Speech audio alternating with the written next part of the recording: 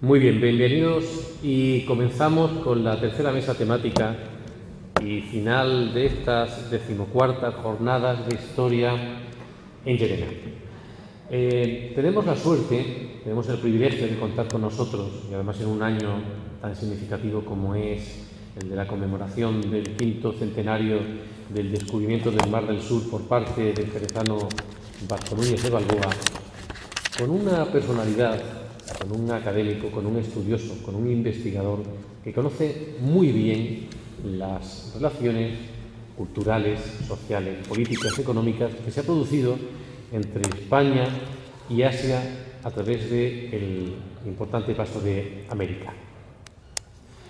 He de decir que los primeros contactos que tuve con nuestro ponente, con el señor Rafael Rodríguez Ponga Salamanca, fueron hace algo más de un año cuando se le propuso la participación como ponente en estas jornadas. Eh, inmediatamente lo que planteó eh, fue una auténtica realidad y fue decirnos que el año 2013, para él, en cuanto estudioso de las relaciones entre España y Asia, eh, iba a ser realmente complicado por la agenda tan apretada que realmente tenía. Y efectivamente se ha demostrado. La siguiente reunión que tuve fue en Jerez de los Caballeros, dando el inicio a la celebración de este quinto centenario a través de una comisión organizada en Jerez de los Caballeros. Pero desde entonces ha sido realmente difícil tratar personalmente con él en cuanto que ha estado en continuo viaje. En Filipinas, en Panamá, de nuevo en Filipinas, en Estados Unidos, en multitud de países y siempre desarrollando esa labor eh, de contacto entre las instituciones españolas y las instituciones internacionales.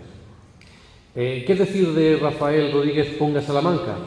Es tanto lo que hay que decir que es necesario limitar esta explicación, sobre todo porque el protagonista, eh, Rafael, eh, va a explicarnos algo muy interesante, algo bastante desconocido, pero de igual modo eh, en perfecta conexión con la línea argumental y temática de la que trata estas decimocuartas jornadas de historia Geneva. Rafael Rodríguez Ponga Salamanca nació en Madrid en 1960. Es doctor en Filología Hispánica por la Universidad Complutense y pertenece al Cuerpo Superior de Administración Civil del Estado. Sus conocimientos sobre las relaciones internacionales de España y Asia son fruto de dos líneas de trabajo, investigación y vida.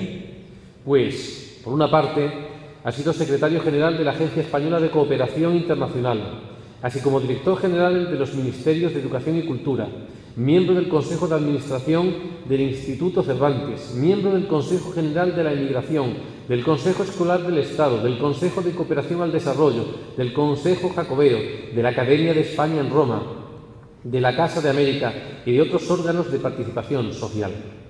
En estos momentos, además de su activa labor política dentro del Partido Popular, es presidente de la Asociación Española de Estudios del Pacífico y secretario general del Instituto Cervantes. Pero además su bagaje, cultural en torno a las relaciones entre España y Asia son fruto de su labor académica, pues es autor de numerosas investigaciones que abordan la problemática de la lengua española y su diversidad lingüística, así como los elementos culturales que se obtienen del análisis de la lengua española en los territorios que una vez fueron de España en América o en Asia y que gozaron de la influencia de la cultura española en estos lugares. Entre sus obras, numerosísimas, destacamos un número muy reducido, para no alargar excesivamente la presentación. Pero obras tan interesantes como las relaciones de España con las Islas Marianas a través de la lengua chamorro, la palabra soldado y sus heredades en las lenguas de Filipinas y la antigua Oceanía española. La enseñanza de la lengua española en las Islas Marianas, la lengua española en Australia, nuevas, perspectivas para la lengua española en Filipinas, el primer vocabulario de la lengua de las Islas Marianas, Núñez de Balboa y el Océano Pacífico.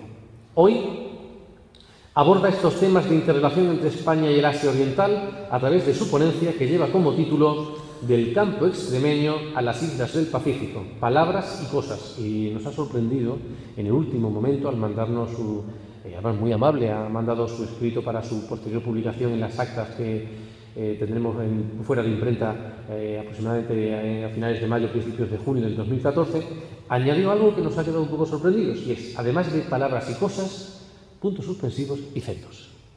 Algo que nos ha sorprendido, pero que realmente nos va a explicar a continuación. En esta obra, en este trabajo, en esta exposición de hoy, indaga en las repercusiones que tuvo y que son presentes en el impacto de la cultura española en amplias áreas del Pacífico, sobre todo en sus islas. Y es que el avance de los hombres está acompañado de multitud de connotaciones políticas, económicas, sociales y culturales, estando presentes los aspectos culturales en el estudio y los trabajos de investigación de nuestro ponente, Rafael Rodríguez Ponga Salamanca. Pues las palabras forman parte intrínseca de los hombres, tanto los que llegaron desde España como los que ya habitaban en los espacios insulares del Pacífico recién descubiertos por las mesnadas de hombres y mujeres hispanos. Estos hombres y mujeres que habían salido de España portando su propia idiosincrasia y su manera de expresión, bien reflejada en la palabra, habían llegado a América, pero no habían quedado ahí superirlo, pues saltaron también al espacio geográfico del Pacífico que abrieron en su momento Vasco Núñez de Balboa, Magallanes, Elcano y Urdaneta, entre otros tantos. En propias palabras de nuestro ponente, las lenguas son el fiel reflejo y resultado de los procesos históricos y sociales que las gentes llevan consigo, pues la lengua es medio de comunicación, medio de propagación, medio de aculturación y medio de recuerdo o persistencia de la cultura ya existente de otra nueva recién llegada. Como digo, es un, es un lujo el tener como ponente a Rafael Rodríguez Ponga y no me extiendo nada más en su presentación, sino que espero que gocemos con la ponencia que a continuación pues nos va, nos va a desarrollar. Adelante. Bueno, muchas gracias. Muchas gracias al profesor Segovia por su presentación tan amable. Muchas gracias a la Sociedad Extremeña de Historia por su invitación tan generosa a estar aquí esta tarde con, todos ustedes. Muchas gracias a todos por su presencia esta tarde de sábado en este quinto centenario del descubrimiento del Pacífico. Muchas gracias en concreto al diputado Serrano por la amabilidad de estar aquí eh, con nosotros. Y tras estas palabras de agradecimiento sincero, tengo que decir algún secreto personal en mi deuda con esta ciudad de, de Llerena. Yo aprendí de pequeñito a no cometer faltas de ortografía con la H intercalada gracias a la gente de Llerena y a los vínculos de mi familia con Extremadura. Eso de mojo, zanahoria. Yo veía que otros compañeros del colegio sí cometían faltas de ortografía, pero como a mí esa H sí me sonaba, por mis vínculos familiares con Extremadura, pues desde pequeñito, esa, esa, esas faltas de ortografía que me, que me ahorré. Pero es que después llego al Instituto Cervantes a andar a trabajo y me encuentro con que dos de nuestros directores de los Cervantes en el mundo, uno en Brasil, otro en Marruecos, resulta que son de, son de aquí, de Llerena. Y es que esta semana viajo a Panamá por el quinto centenario de Balboa y por el Congreso y por el Congreso de la, de la Lengua Española que ha sido en Panamá y que hemos celebrado esta misma semana, estoy en el hotel desayunando y a quien me encuentro al alcalde de Llerena. O sea que, como ven ustedes, Llerena ya forma parte de la, de la, vida de uno porque vaya uno donde vaya, aparece alguien de Llerena por allí. Y es que hay mucha historia detrás en Llerena y en toda Extremadura.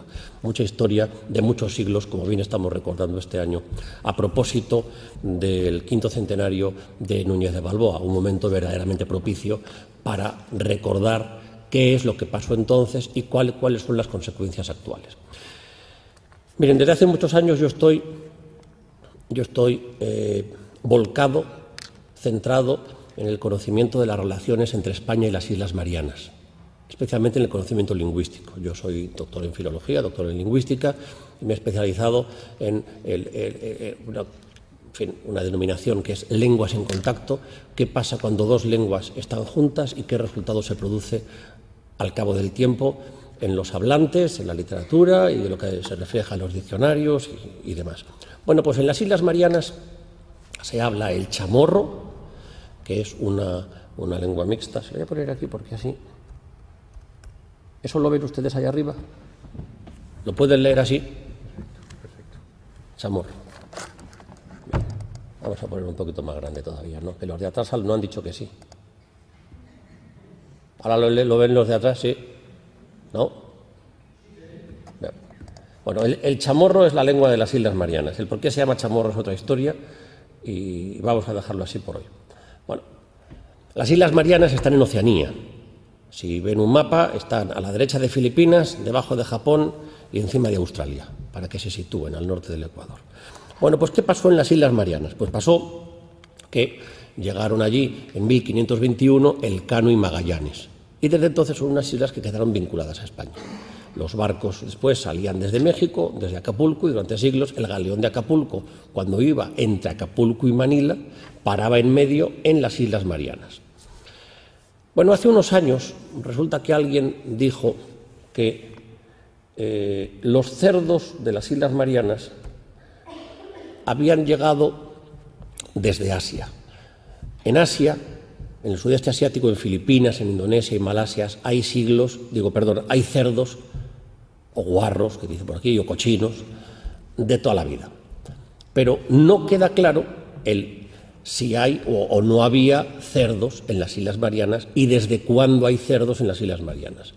Todos los historiadores del siglo XX coinciden en que no había cerdos antes de la llegada de los españoles.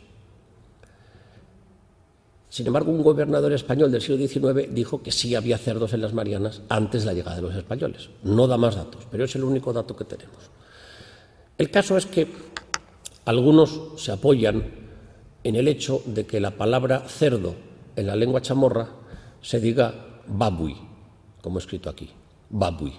Y dicen, bueno, si tiene un nombre malayo-polinesio, lo normal es pensar que el producto también tiene el mismo origen malayo-polinesio. Luego no lo pudieron llevar los españoles, puesto que tiene un nombre que no es español. Aquello a mí, debo decir que me picó, y llevo 20 años detrás de los cerdos. Y siempre que encuentro algún dato sobre la historia del cerdo o el vocabulario porcino, dato que incorporo. Lo de palabras y cosas que pone en la ponencia es una metodología que está desde el siglo XIX, que es vincular la historia de la palabra con la historia de la cosa a la que se refiere. Si esto se llama vaso, ¿por qué se llama vaso? ¿Cuándo se produjeron los primeros vasos y quién le dio el nombre de vaso a esto? Sin embargo, la historia de la lengua nos demuestra que muchas veces esto no es así. Y pasa, por ejemplo, con el chamorro. Dado que las Islas Marianas estuvieron vinculadas a España desde 1521, realmente 1565, con la toma de posesión formal por Miguel López de Legazpi, hasta 1898, guerra con Estados Unidos, y 1899, venta a Alemania de Marianas, Carolinas y Palaos. ¿Les suena todo esto? Bien.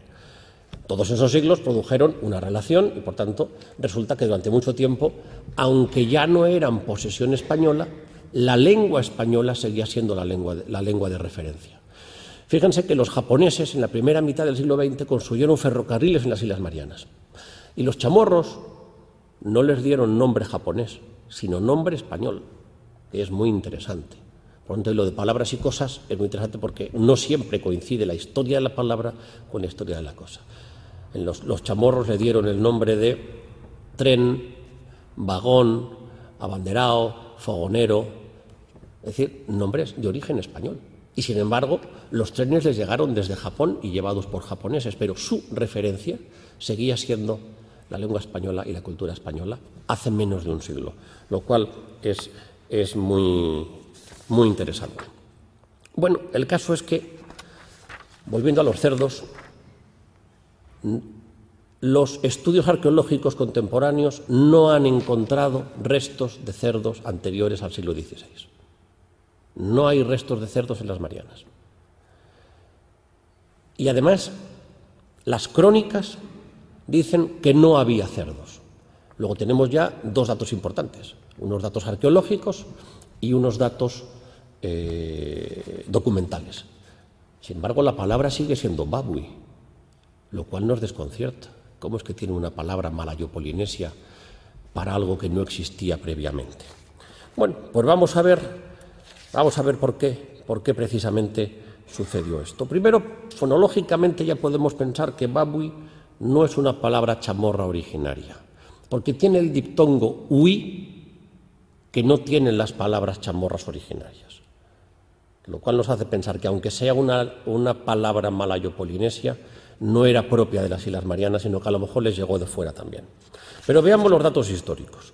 1521, Antonio Pigafetta, el cronista del Cano y Magallanes, dice que en las islas solamente había peces y pájaros. Por si solo había peces y pájaros, no había cerdos. Año 37, 1537. En la expedición de Loaiza y en la que iba Urdaneta, dice literalmente, en estas islas no hay ganado ninguno, ni gallinas, ni otras animalias. Si no había ganado ninguno, tampoco había cerdos. 1565, viaje de Legazpi.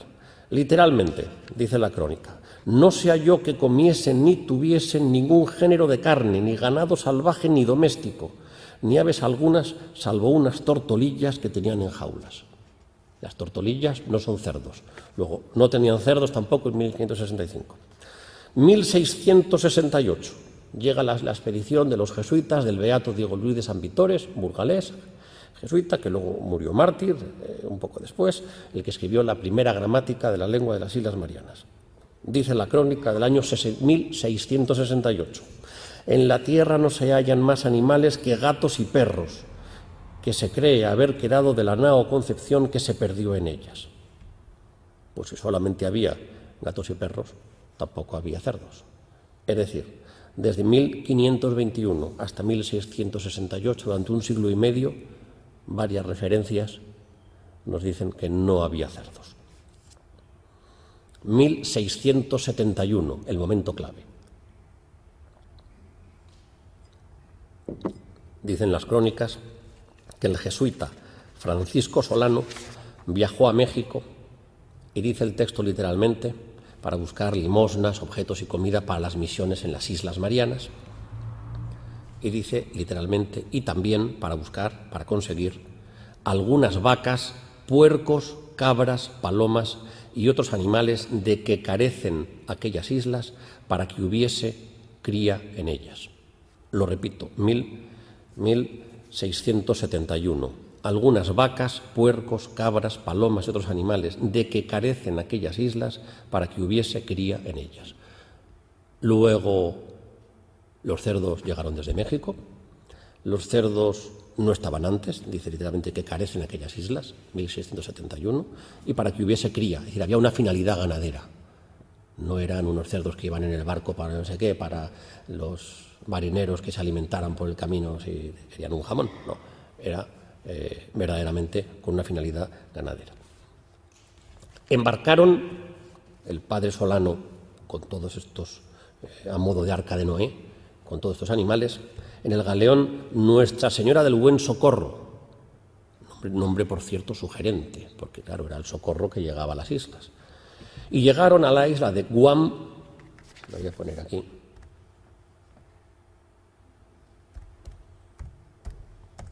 a la isla de Guam el 6 de junio de 1671. Luego ya tenemos encontrada la fecha exacta de cuando llegan los cerdos a las Islas Marianas. ¿Cuál es lo más interesante? Y es un dato que he sabido recientemente, porque el dato de la fecha sí lo sabía hace mucho tiempo, pero me faltaba un dato. ¿Quién era el padre Solano? ¿Quién era este jesuita? Pues resulta que era un jesuita extremeño, de Plasencia, que había nacido en Plasencia en 1635. A los 20 años, a los 20 años entró en la compañía de Jesús. Se fue a México, de México a las Islas Marianas.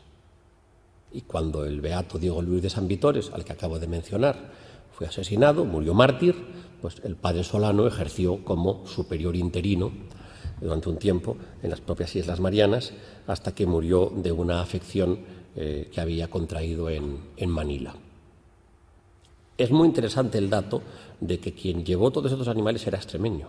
Es decir, la compañía de Jesús encargó a uno de los sacerdotes jesuitas que probablemente fuera el que más supiera de ganadería, el que más supiera de puercos, vacas y, y demás ganado que llevaron, extremeño de Plasencia.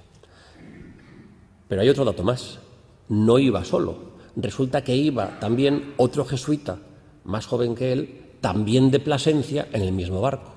Luego ya iban dos, dos jesuitas, los dos extremeños, en el barco que llevó esta primera ganadería a las, a las Islas Marianas. Este otro se llamaba Alonso López, era más joven, había nacido en 1646 y, y, y, murió en, y murió también y murió en las propias Islas Marianas.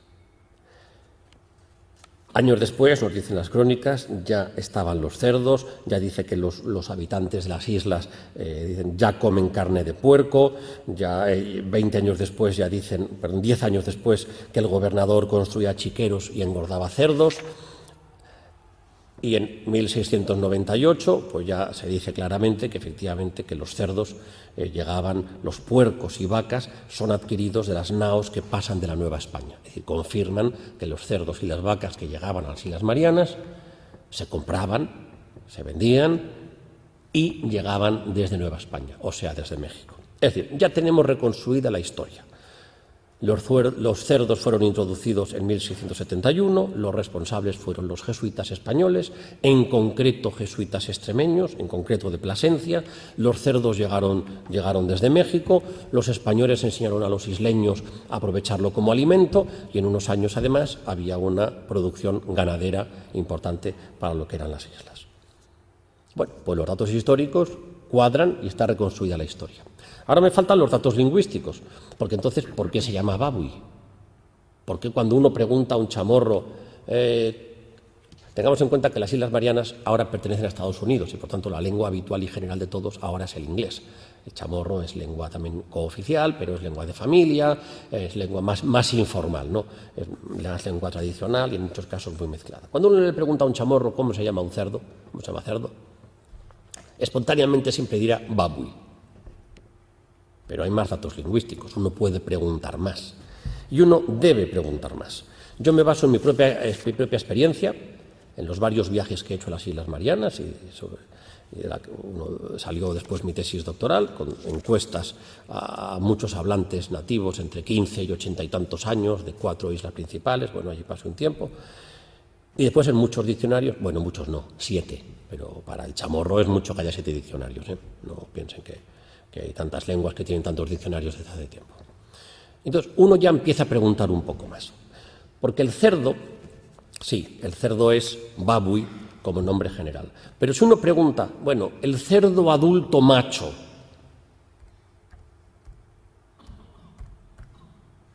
entonces ya contesta balaco, que es barraco, claro. Ya empieza a aparecer una palabra de origen español. Barraco o berraco, según las zonas de España. Pero otros dicen puetco.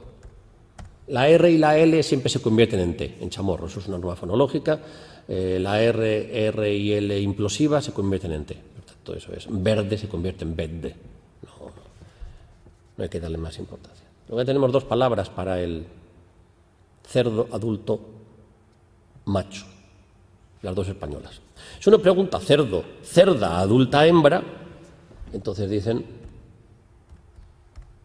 puetca. Así de fácil.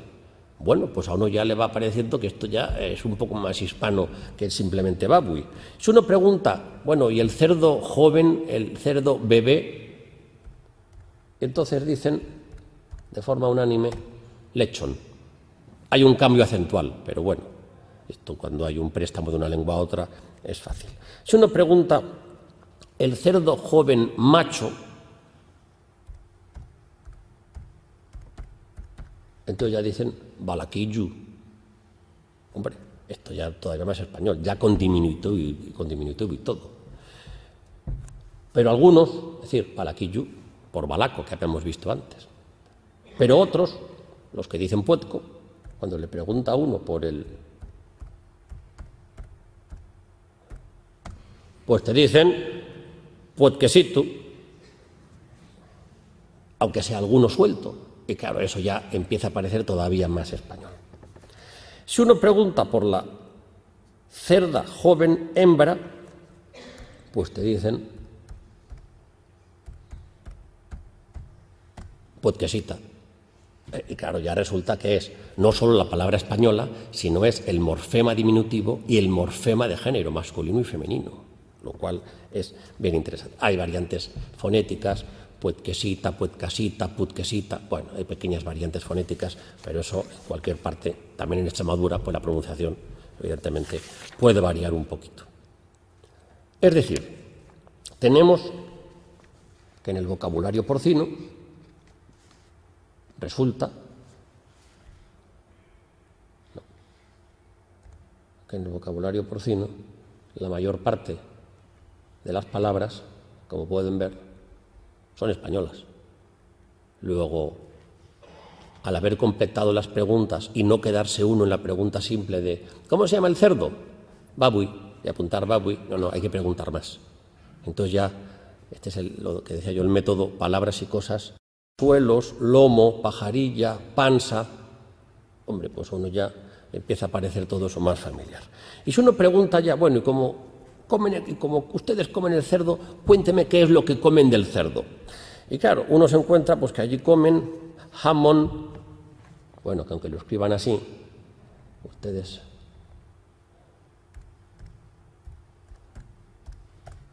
Pues eso, jamón. Vuelve a haber ese desplazamiento acentual que hemos visto en lechon, pues lo mismo pasa en jamón.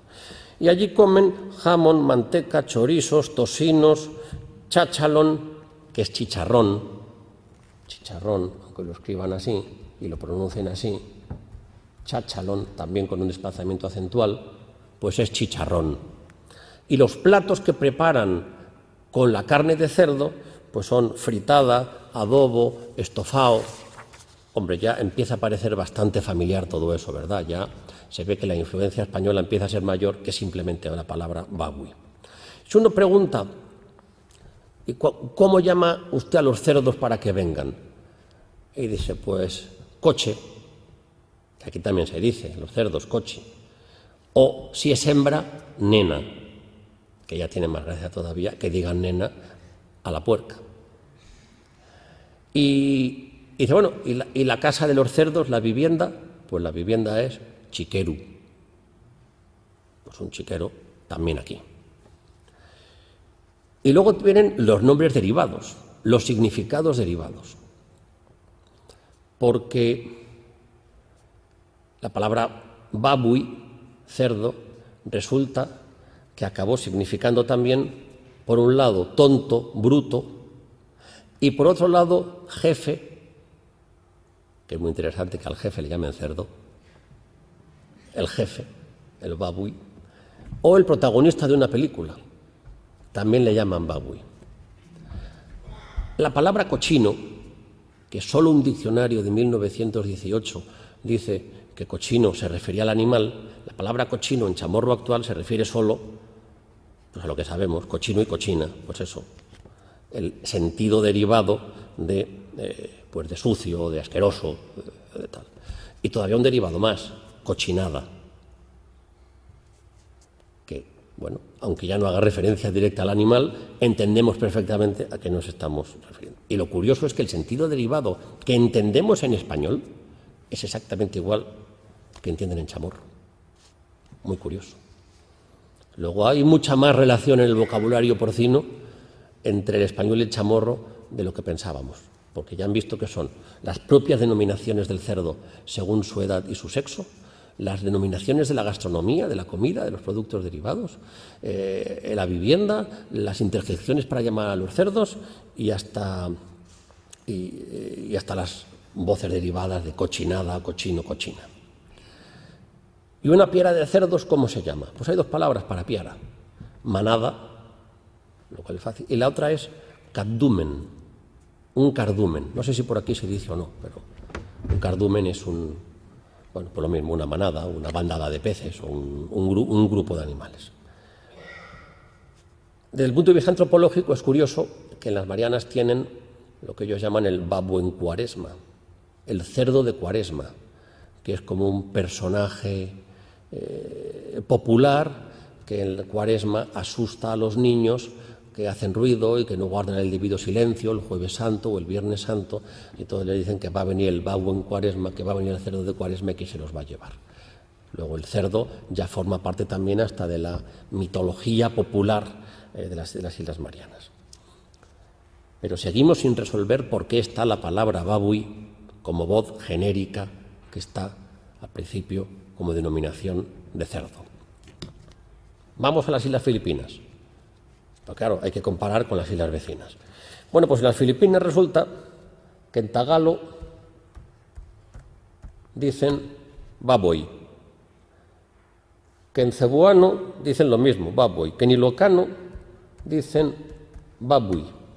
Un poquito más allá, en Malasia dicen babi o babe. ¿Ustedes han oído hablar de Babe, el cerdito valiente? Pues ella no se llamaba Babe, se llamaba Babe, Babui, Babi, que es una palabra indonesia malaya. Era un cerdito valiente, dice la película, pero eh, y si no era valiente, pues era no sé qué, era el cerdito y que tuvo mucho éxito. Pero a mí lo que me gustó es que la palabra para denominar al cerdo resulta que era una palabra malayo-polinesia, vinculada con todas las lenguas de la zona. Es decir, hay una amplísima zona léxica en todo el sudeste asiático, en toda Malasia, Indonesia, Brunei, Singapur, Filipinas, con una semejanza enorme en las formas derivadas de una voz originaria, sin duda, malayo-polinesia. Lo mismo pasa en Micronesia, donde tenemos en las Islas Palaos, en las Islas Carolinas, en la isla de Yap, también formas muy parecidas, muy parecidas. Pabi, pabi, pabui, pebi, en fin, cosas muy parecidas. No pasa eso en Melanesia y en la Micronesia Oriental, donde ahí son derivados del inglés pig. Eso habrá otras razones. En Melanesia y Micronesia Oriental es un área léxica distinta, son derivados del inglés. Mientras que en el sudeste asiático, Filipinas y Micronesia Occidental son derivados de babui. Y, este babui viene evidentemente eh, de una raíz común del proto-malayo polinesio y del proto-austronesio. Y quienes se han dedicado a la reconstrucción por el método comparativo, la reconstrucción de, eh, del proto del proto-austronesio y del proto-malayo polinesio, llegan a la conclusión de que efectivamente existía esa forma eh, Igual que para nuestras lenguas se llegó a la reconstrucción del indoeuropeo, pues allí se ha llegado al, al proto-malayo polinesio y el proto-austronesio. Por lo tanto, tengamos en cuenta que esta, toda esta zona lingüística tiene una gran unidad en la designación del cerdo, que es babui con sus variantes, porque nosotros no tenemos esa, esa uniformidad.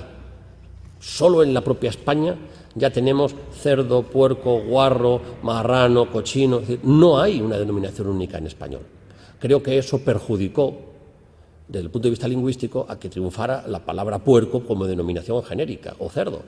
Y como babui es una palabra que además para un hispanohablante se pronuncia muy bien, es muy fácilmente incorporable y los de Filipinas y los de las Marianas pues probablemente dijeran como denominación genérica babui porque es una palabra que se incorpora muy fácilmente y que además es la, más, extendida, la más extendida en la región. Lo interesante es que en Filipinas también han quedado algunos herederos de estas otras palabras españolas. En el español de Filipinas, el español de Filipinas, moribundo pero existente, se han registrado barraco y puerco. Quiero pronunciar barraco con A, no berraco, que es muy interesante, que es la forma que llega, que llega a las Marianas. En las lenguas criollas españolas de Filipinas, que reciben el nombre genérico de chabacano, también encontramos actualmente la palabra puerco. En tagalo y en todas las lenguas filipinas también está la, lengua, la palabra lechón, pero allí lechón no significa el cerdito, el cerdito bebé, sino que lechón es el cerdo de, cualquier edad ya muerto y asado y preparado para comer. Es decir, el babui es el cerdo vivo, el lechón es el cerdo que, uno se come. Bueno, habría que ver todas estas formas de, puerco, puerca, berraco, lechón, eh, cochino, en fin. Eh, esto eh, espero seguir muchos años averiguando más palabras de más lenguas por ahí y completando el, rompecabezas del sudeste asiático y de Filipinas en relación con estas palabras. Pero seguimos sin, sin saber del todo por qué los chamorros incorporaron la palabra babui. Porque los datos lingüísticos, ya nos, los datos históricos nos confirman que los cerdos los llevaron los españoles, desde Acapulco, desde México. Los datos lingüísticos también nos confirman que todo el vocabulario porcino es de origen español, lo cual ya va junto. Pero nos sigue faltando una pieza. Lo interesante, que ya sé, esto ya se estudió desde, desde tiempo atrás, es que el chamorro moderno no tiene solo la influencia del español, por tantos siglos de contacto, sino que en la parte malayo-polinesia del chamorro una buena parte no es lengua mariana originaria, sino lenguas filipinas también introducidas. Es decir, hay préstamos del tagalo y otras lenguas filipinas en chamorro y que son, y que son muy antiguos. Fue la profesora Marjorie Driver de la Universidad de Guam la que me dio la clave, literalmente. La palabra fue posiblemente introducida por los marineros filipinos de los galeones, muchos de los cuales se pasaron años en las Marianas como supervivientes de naufragios.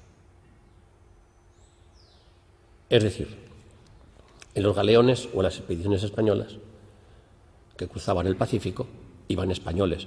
Claro, iban españoles en sentido muy amplio. Iban españoles, portugueses, algún francés, algún italiano, algún griego. Los jesuitas que fueron a las Islas Marianas eran españoles, sí, pero la mitad no eran españoles. Un napolitano, un bohemio, un belga, un austriaco. Es decir, eran expediciones verdaderamente internacionales. Y había filipinos. Había marineros filipinos y había misioneros filipinos. Los, jesuitas llevaban con ellos ayudantes, ayudantes filipinos, el más conocido de los cuales es Pedro Calonsor, Pedro Calungsod, eh, mártir, porque también le asesinaron, y canonizado recientemente, San Pedro Calungsod, un santo filipino, mártir en las Islas Marianas como misionero, compañero de los jesuitas españoles. Es decir, había filipinos en las islas como misioneros y como marineros. Claro, los filipinos fueran de origen tagalo, ilocano, bicolano, porque en las Filipinas se hablan más de 60 lenguas, todos tenían una palabra común para el cerdo, porque esa unidad léxica, esa unidad que hemos dicho de esa área, de esa área tan grande. Luego es razonable pensar, y todos los indicios nos llevan a ello, los indicios históricos y los indicios lingüísticos, que la palabra babui llegó a las Islas Marianas llevada por los filipinos que viajaban en los galeones españoles desde Acapulco. Es decir, todo el vocabulario porcino de las Islas Marianas llegó desde Acapulco, incluso la palabra que no lo parecía y que nos desconcertaba al principio, babui. Incluso esa palabra también llegó desde México, también llegó desde México en los galeones españoles, lo cual es eh, verdaderamente, verdaderamente interesante como, como dato histórico y como, y, como dato, y como dato filológico. Y ya, para terminar, quiero simplemente hacer, hacer el comentario de que con estos datos históricos y con estos datos filológicos podemos reconstruir una parte de la historia de la presencia española en el Pacífico.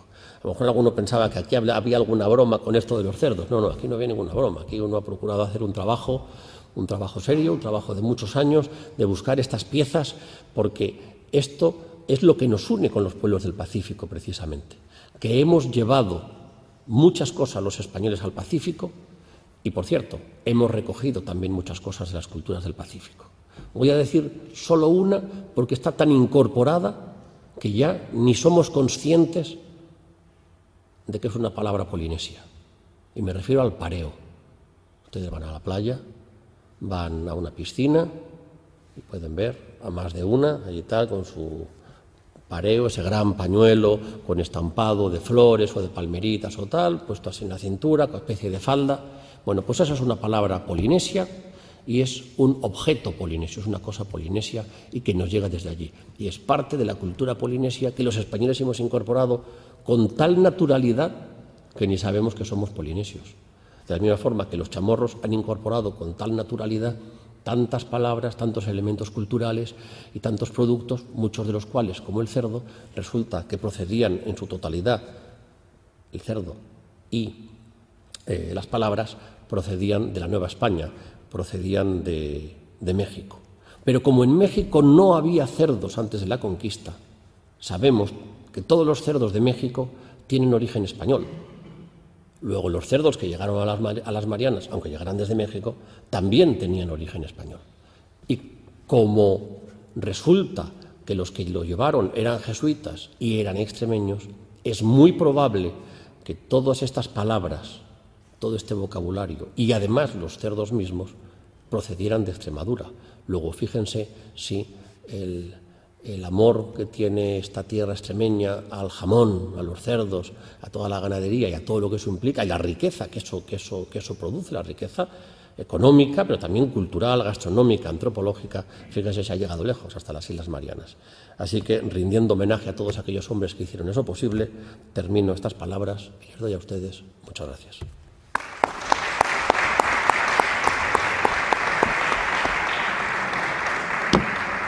Muy bien. Eh, después de la intervención del profesor Rodríguez Ponga, está clarísimo que a la hora de abordar la investigación de las relaciones culturales entre un espacio y otro, las fuentes históricas son absolutamente diversas. Y la lingüística, obviamente como un elemento propio del hombre, el movimiento y la interrelación con otros hombres, pues es efectivamente una fuente histórica de primer orden. Entramos en una pequeña fase de debate, por si hay alguna pregunta que se pueda realizar a nuestro ponente sobre esta temática tan interesante que, que hemos disfrutado en este momento. Para Luis. Para Luisa. Hola, buenas tardes. Profesor, darle las gracias por la por la claridad expositiva.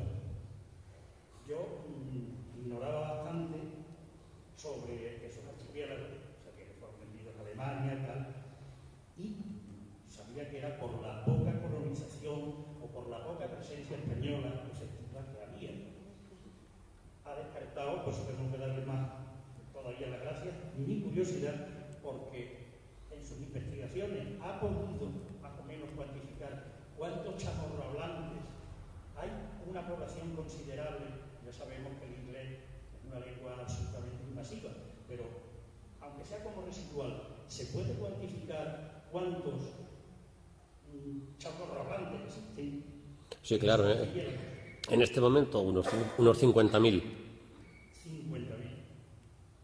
50.000. Si contamos los inmigrantes chamorros a Estados Unidos, sobre todo en California, en Oregón y en Chicago, para que esos en gran parte tienen el español ya, digo, perdón, el chamorro muy, bueno, anglificado, pero bueno, podemos decir que hay 60.000 personas que más o menos saben o entienden el chamorro.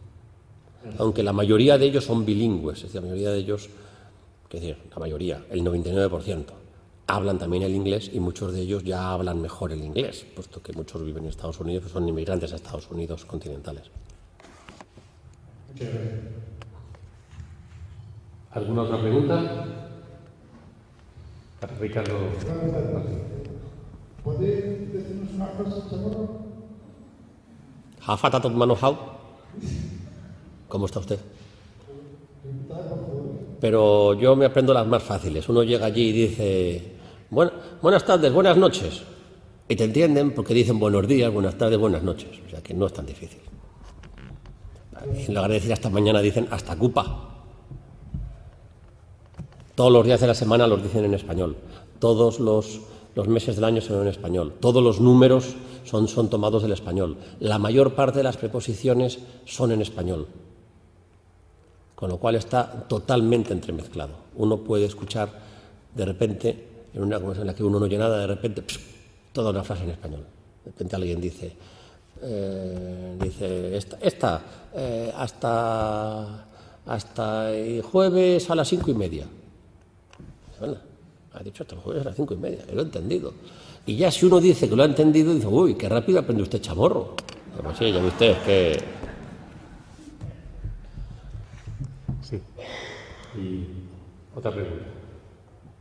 Si no le importa, dice su nombre. Gracias. Eh, por curiosidad, ¿por qué estamos novelas en las mañanas? Siendo una lengua minoritaria y los libros su Pero, ¿cuál, ¿Cuál es la pregunta? Sí, por curiosidad, ¿cómo se aventuró a estudiar el, el chamorro en esas mañanas y fue objeto de su Pues por algo muy sencillo, porque por casualidad cayó en mis manos un libro de chamorro, un diccionario chamorro inglés, que alguien me regaló cuando yo estudiaba, mi padrino me regaló cuando yo estudiaba filología y pura casualidad, porque él no sabía nada de eso, pero dijo, oye, mira, pues he encontrado aquí un diccionario que a lo mejor, como tú estudias filología, pues a lo mejor te, te interesa. Y me regaló un diccionario chamorro inglés, chamorro inglés. Lo llevé a la facultad, mis profesores se quedaron maravillados, no habían oído hablar del chamorro. Busqué a algún otro profesor que pudiera dirigirme la tesis, que era don Antonio Quilis, de la UNED, que, había, que es el, ha sido, ya falleció, el mejor experto sobre la lengua española en Filipinas, que había oído hablar del chamorro, pero dijo, alguien debe ir allí y estudiarlo porque no lo ha estudiado nadie desde el punto de vista español. Estaba estudiado desde el punto de vista eh, anglosajón de Estados Unidos. Alguien debería estudiarlo. Y así que decidí hacerlo yo. Así empezó la cosa. Por casualidad, como tantas cosas pasan, y, ya uno se mete en eso y, y ya, eh, ya empieza la pasión por, por el dato concreto, como aquí todos compartirán. ¿Alguna pregunta? Yo quiero aprovechar que esté aquí presentando la mesa temática del señor Rodríguez Ponga, hacer una pregunta, eh, esperando, confiando que efectivamente pueda responderla de manera conveniente. El, había población en las Islas Marianas antes de la llegada de la población española, colonizadora. Mm, el español no dejaba de ser una nueva cultura, perdón, una nueva lengua de aculturación. Con el paso del tiempo, el inglés es una lengua también de aculturación. Y la pregunta es la siguiente. El chamorro, que tiene una base hispana importante, si eh, es utilizada por, esta población como un elemento eh, de defensa de su propia cultura frente a la aculturación anglosajona que es mucho más próxima. En el tiempo perfecto, claro. Bueno, evidentemente la lengua siempre es un elemento importante de la identidad cultural. Y en el caso concreto del chamorro, es que el chamorro tuvo una evolución enorme, desde un chamorro antiguo, un chamorro prehispánico, que podemos llamarlo el, el paleochamorro, que efectivamente pues es lo que digamos que se hablaba cuando llegaron los españoles, digamos hasta el siglo XVI-XVII. Esa sería una fase, una fase de la lengua. A partir del siglo XVIII, porque las islas disminuyen mucho en población por causas variadas, pues eh, por, muerte violenta, por enfrentamientos con los españoles, o bien por enfermedades, o el caso es que disminuye mucho la población, y poco a poco las islas se van repoblando con los que vienen en el, en el galeón, que son españoles, son mexicanos y son filipinos. Con lo cual ahí empieza en el siglo XVIII un mestizaje de la sangre que acaba en un mestizaje lingüístico. Ya en el siglo, es decir, a mediados del siglo XIX, el chamorro ya era una lengua mixta y las opiniones en el siglo XIX son contradictorias entre los que escriben, los gobernadores o los marineros que pasan por ahí.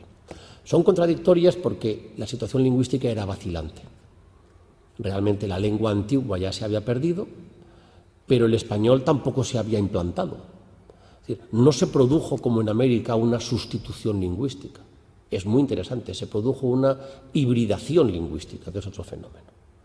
En América, la lengua indígena Vamos, no siempre, porque claro, todavía sigue habiendo millones y millones de personas en América que hablan lenguas indígenas, pero en gran parte del territorio americano el español desplazó y sustituyó a la lengua indígena. No en las Islas Marianas. El español ni lo desplazó ni lo sustituyó. Se mezcló. Es muy interesante como fenómeno lingüístico. Y ese eh, no, no, podemos saber lo que hubiera pasado si hubiera continuado la presencia española más allá de 1898-99 o la presencia cultural más allá de la Segunda Guerra Mundial. Tengan en cuenta, en cuenta que Estados Unidos primero ganó la guerra del 98, allí, para Guam y para Filipinas, bueno, y Cuba, por supuesto, pero me estoy refiriendo al sudeste asiático, me estoy refiriendo al Pacífico.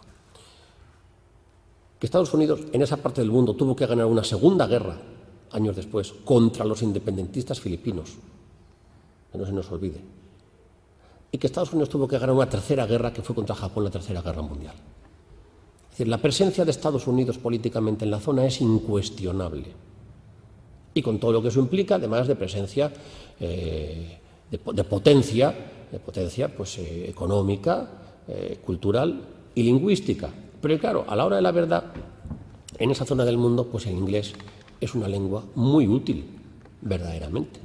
porque eh, para comunicarse pues, con, eh, con Australia, con Malasia, con Hong Kong, con Estados Unidos, con tantos otros sitios. Con lo cual, ahí sí se ha ido produciendo una sustitución. Ya son muchos miles de chamorros étnicos los que ya no hablan chamorro y solo hablan inglés. Pero incluso los chamorros que han abandonado el chamorro tienen como un pozo de palabras, de palabras que les llegan del chamorro. Y es muy curioso porque muchas son españolas, como familia. Es decir, un chamorro, aunque no hable chamorro, dice familia en español. Porque es otro sentido de familia lo que tienen los chamorros en relación con el mundo anglosajón. Tiene una carga cultural. Y la palabra babui, les aseguro, la conoce todo el mundo. Vamos, la conoce todo el mundo, que cuando estuvimos mi mujer y yo allí, ya nosotros mismos decíamos babui. Bueno, vamos a comer carne de babui.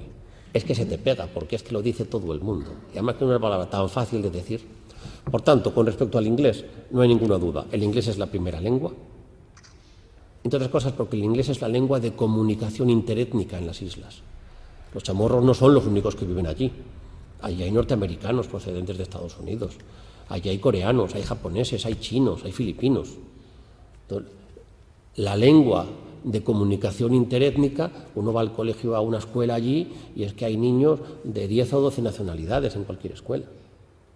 La única lengua común es el. Inglés. Como aquí en España con la inmigración de los últimos años, en tantas ciudades y pueblos de España, uno va a cualquier colegio de primaria o secundaria y hay un niño rumano, y hay un niño filipino, y hay un niño búlgaro, y otro polaco, y otro marroquí. Eso es así. La lengua común, pues lógicamente, lógicamente el español. Pues esto que ya es territorio de Estados Unidos, lógicamente el inglés. Ahora, para los propios chamorros, claro, pues evidentemente la lengua forma parte de una cultura y de una tradición. Y hay que decir que la Iglesia Católica ha sido realmente en gran parte la transmisora de, la lengua, porque ha sido la única que durante mucho tiempo ha mantenido el chamorro como lengua escrita. Al no ser el chamorro durante mucho tiempo lengua oficial, ni lengua académica, ni lengua administrativa, eh, pues sí, resulta que sí era la lengua de la Iglesia.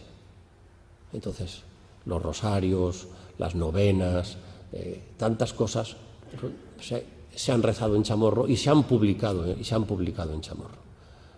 Entonces, en gran parte, la, Iglesia eh, ha, ha constituido parte del elemento de la identidad cultural lingüística como transmisora precisamente de la, de la lengua chamorra. Tengamos en cuenta que además el primero que escribió la gramática de las islas, lo he dicho antes, fue un misionero español, un jesuita, el beato Diego Luis de San Vitores.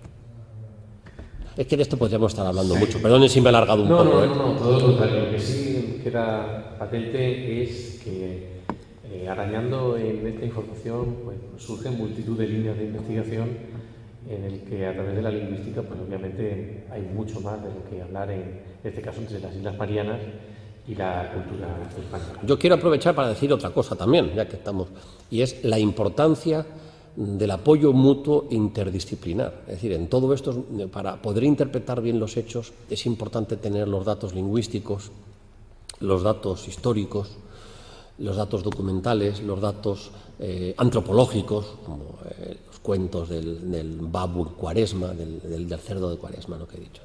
Creo que el que cada uno desde su disciplina de origen podamos compartir datos y podamos intercambiar información es muy útil, porque muchas veces los datos que uno no sabe y que uno necesita para completar el porqué de algo, eh, puede encontrarlo en personas de otra disciplina. Muy bien, pues muchísimas gracias. No sé si hay alguna otra pregunta y en el caso de que no, pues comenzamos con la última parte de estas decimocuartas jornadas de historia en Llerena y damos paso a las numerosas comunicaciones que pondrán punto final, como digo, a estas jornadas. Muchas gracias.